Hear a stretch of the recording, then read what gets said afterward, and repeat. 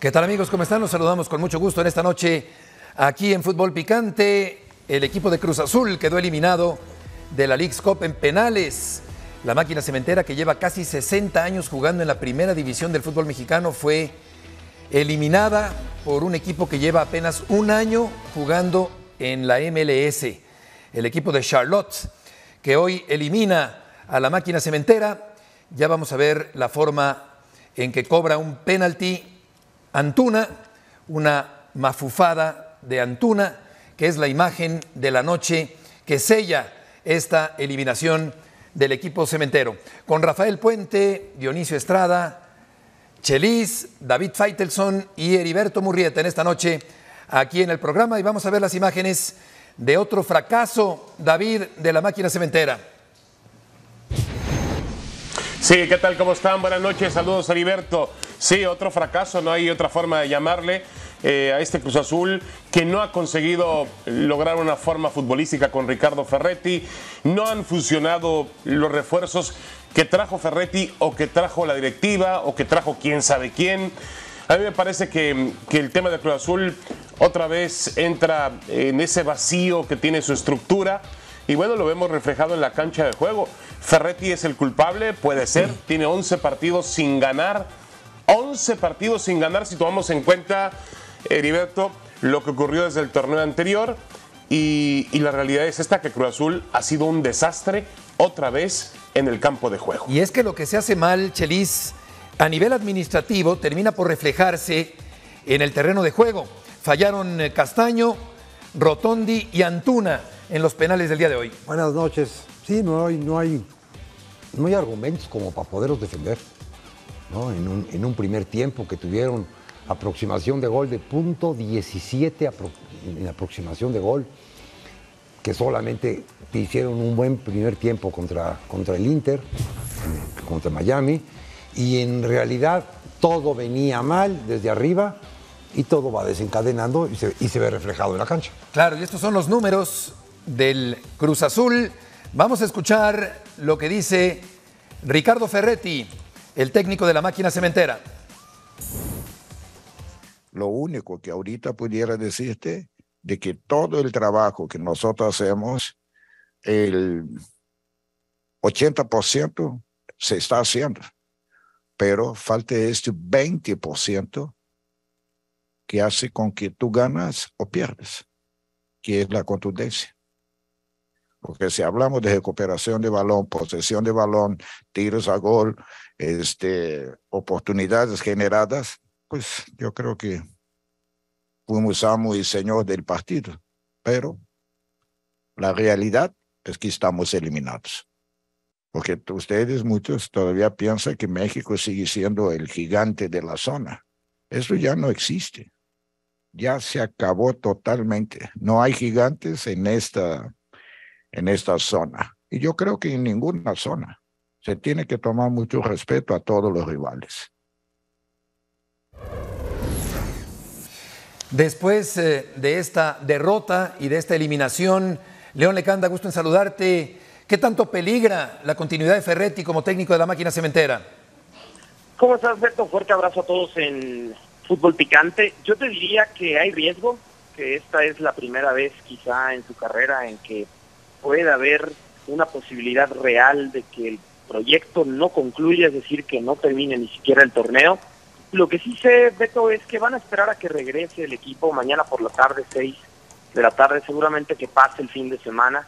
Y es muy posible que el próximo lunes, por lo que me han dicho las fuentes esta noche, exista una reunión entre la directiva, específicamente el ingeniero Víctor Velázquez, y Ricardo Ferretti para tratar todo este tema deportivo, la falta de resultados, el hecho de que el equipo no ha andado bien, de que ha quedado eliminado eh, de forma prematura en esta competición, la League Cup, al regresar incluso sin victorias, porque lo cierto es que pierde contra Inter Miami 2 a 1, después empata frente al equipo Atlanta United, al que vence en penales para avanzar a la siguiente ronda, esta, y ahora cae eliminado justo desde el manchón penal frente a un equipo, como dijiste en el inicio, Beto, pues sin historia, sin trayectoria, sin, eh, eh, digamos, arraigo, con un plantel mucho más limitado que el de Cruz Azul.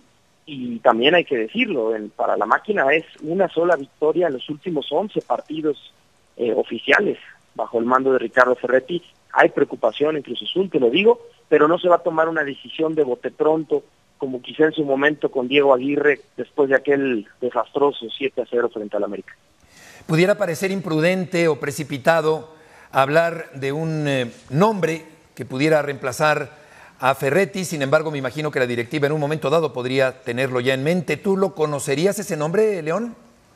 Sí, Beto, yo te puedo confirmar que la primera alternativa en caso de que no siga el proyecto de Tuca es dejar a Joaquín Moreno como técnico interino, probablemente algunos partidos a la espera quizá de tomar otra determinación.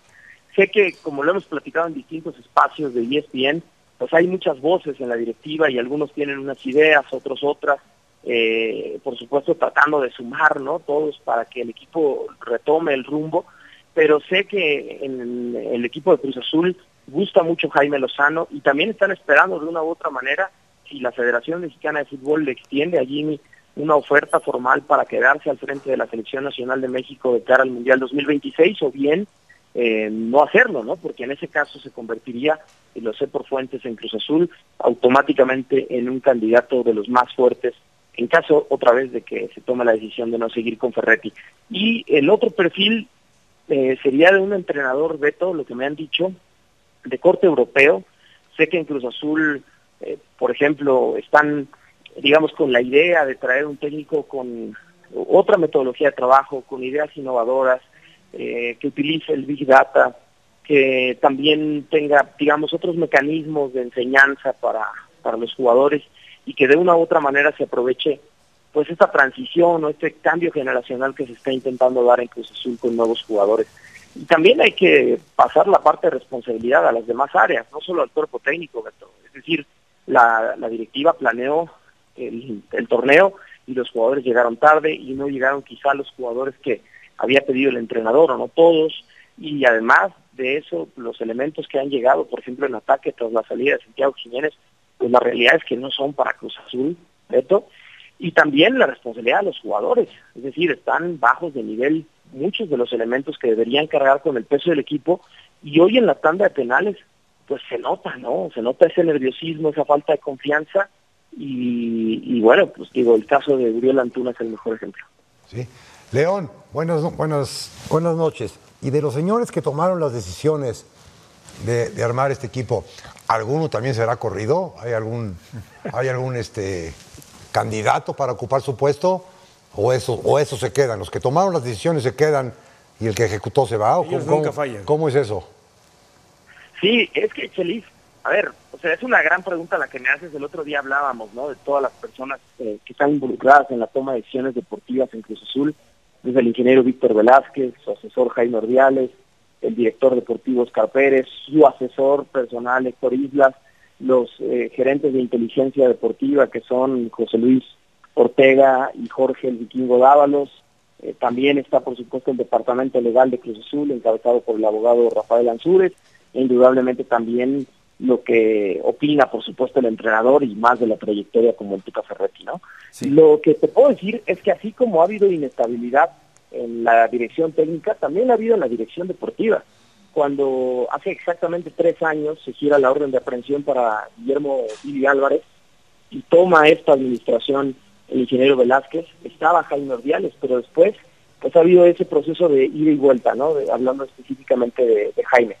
Y en ese proceso estuvieron Álvaro Dávila con, con Héctor Lara, y también estuvo en su momento eh, Carlos López de Silane, y también eh, Oscar Pérez, ¿no? Y, ha regresado, ¿no? Ordiales. Entonces, León, perdóname. igual que en la dirección León, perdóname.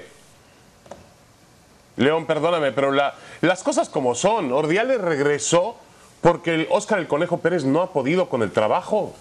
Oscar, el, con toda la pena del mundo, lo tengo que decir, lo tengo que decir aquí, Oscar es un gran, gran personaje Cruz Azul, gran portero, tremenda persona, pero no sirve para director deportivo. Entonces, el ingeniero Víctor Velázquez tuvo que buscar a Jaime Ordiales para tomar decisiones. Pero a mí me parece que otra vez hay falta de inteligencia para hacer las cosas. Si vas a tener un entrenador como Ferretti, Le tienes que traer, lo conoces. ¿Quién lo conoce a Ferretti? Le tienes que traer los jugadores los caprichos que él quiera. No le puedes decir a Ferretti, yo contrato los jugadores y te los traigo para que tú los pongas a jugar. No, no hubieras traído a Ferretti, hubieras traído otro tipo de entrenador para hacer ese tipo de cosas. Pero otra vez el mismo tema de siempre. La gente que va a hacer fútbol, que haga fútbol. La gente que va a hacer cemento, que haga cemento. Sí, es el proverbial desorden administrativo que tarde o temprano se refleja en el terreno de juego. León, muchas gracias por la información. Muchas gracias, un fuerte abrazo a todos. Buenas noches. Rafa, ¿crees que sea lo conveniente quitar a Ferretti ahora? Pues mira, no, no, no sé, en realidad el, el tema, el tema de Cruz Azul está clarísimo. O sea, te- el aspecto administrativo lo han manejado francamente muy mal, muy mal. Y había antecedentes de sobra como para que pudieran, si tuvieran la idea para manejar un equipo, yo creo que tenían antecedentes de sobra para corregir cuáles eran los errores que se cometían. Porque lo de Cruz Azul no es de esta temporada. Quitando el torneo que hace Reynoso, que consigue el título, el cúmulo de torneos que venía, no la ausencia del título, pero de torneos con una serie de dificultades en las contracciones a destiempo, Tardías. algunos jugadores que llegaron, bueno, llegó Cruz Azul hasta firmar jugadores lesionados, algún lesionado. Jugadores que llegan ya que el no torneo. fue. Y, y- y claro, si, si traes a un extranjero y sabes que va a tener un proceso de adaptación, etcétera, etcétera, bueno, en ese tipo de errores a mí me parece que ya no deberían incurrir. Tiene responsabilidad el Tuca, sin duda. No sé si la solución, no la veo por ahí, porque si no la, si no la tiene con el Tuca, tampoco la tuvieron con anteriores, y yo creo que los que sí están principalmente como responsables, que no han hecho las cosas adecuadamente, yo digo que son los directivos. Tan son los directivos que cuando Cruz Azul termina siendo campeón, muchos pensamos que estábamos eh, en la puerta de ver un equipo que podía marcar época, que podía ser campeón dos o tres veces en México en los próximos eh, años, ¿no? Y resulta que empiezan a vender, a desarmar el equipo, a, quitar jugadores, a enviarlos, a castigarlos a, a otros, y parece que eso ya se está convirtiendo en costumbre. Ya desarmaron al Atlas campeón, ya desarmaron al Pachuca campeón también, se han ido nueve jugadores del Pachuca campeón, pero volviendo al tema de Cruz Azul, entonces desde ahí empieza la debacle. Y esto tiene que ver con malos manejos, y esto tiene que ver con problemas internos, y esto tiene que, que ver con grillas que siguen al interior de Cruz Azul, porque se decían, es que si sacan a tal o cual jugador se acaban las grillas. No, las grillas vienen desde nivel directivo, desde esos que pretenden, como dice el Chelis, ¿no? Este, armar un equipo sin consentimiento del técnico. Entiendo que quizá no le des al técnico este, todo el poder y todo el control. Y con Pero- pobre conocimiento. Sí, exacto, y con pobre conocimiento. Pero a ver, pero tienes que de alguna manera sentarte a platicar con él. Antes de que arrancara el torneo, en la pretemporada para armar al equipo, la directiva de Cruz Azul y el Tuca Claro, Ferretti pero no, en dos no, meses pero se reunieron antes- dos veces ah, nada más. an- ah, dos perdóname. veces. Adelante, David. Dionisio, pero antes de eso, antes de eso, Dionisio, perdóname, antes de sentarse a platicar con él, tienes que entender, y todos sabemos cómo es el Tuca Ferretti. Aquí hay un tema de mucha corrupción, porque existe también corrupción en el fútbol. Los entrenadores tienen a su promotor, y viene y quiero tal jugador, y quiero este jugador, lo quiero a fuerza, porque a mí me interesa participar en un negocio con mi representante. Entonces, vamos a decir las cosas Sí, como son. cierto, cierto. La directiva ha cometido graves errores. y en otros equipos también Graves pasa, errores. luego. Pero yo pregunto, yo pregunto, y es una vaca sagrada que yo respeto y admiro mucho. ¿Ricardo Ferretti trabaja con promotores? ¿Ricardo Ferretti trae futbolistas para beneficiarse también él directamente? Yo lo dejo ahí. Estamos en una época en donde decir las Esa cosas pregunta como es para son. Tigres, por La ejemplo, David. fallado. ¿Y Ferretti? ¿Correcto? ¿Y para Tigres? ¿Por qué se fue de Tigres? ¿Cómo se fue de Tigres? Bueno, entonces yo pregunto, las cosas como son, de los dos lados han existido errores, pero Heriberto, es tiempo de poner las cosas en la mesa. Chelis. Y ahora quieren solucionar con un técnico europeo porque usa el Big Data. Sí, sí, sí. Ya desde ahí dices, estos que se dediquen al badminton mejor que Está cañón. Oye, y, el regresando. Beto. Sí, sí, sí, sí. Regresando nomás a un tema que tocaba este David, ¿no? De que a ver cuáles intereses hay detrás de tal o cual jugador. Y lo comentábamos al mediodía. Cambindo había sido jugador que en los últimos tres equipos antes de llegar a Cruz Azul era opción. Lo prestaban y regresaba, lo prestaban y regresaba. El único ingenuo equipo que cayó fue Cruz Azul, que pagó alrededor de 3 millones 500 mil dólares por Cambindo. Como los otros equipos nunca ejercieron la opción de compra y Cruz Azul, ahí sí, vamos a comprarlo.